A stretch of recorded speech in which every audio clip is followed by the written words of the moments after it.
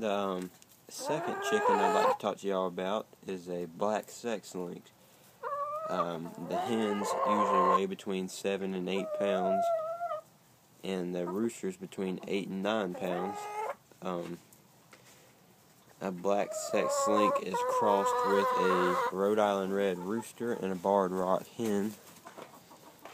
Um, some good things about them is they're quiet.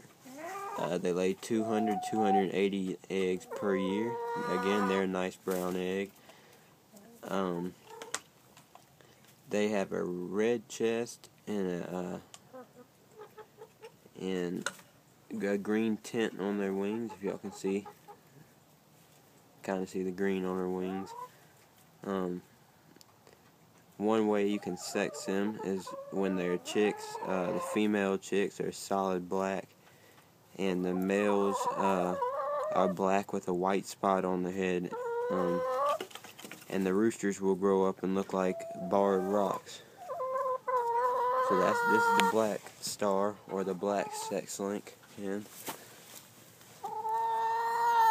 Y'all see the red on her chest and the blue on her wings.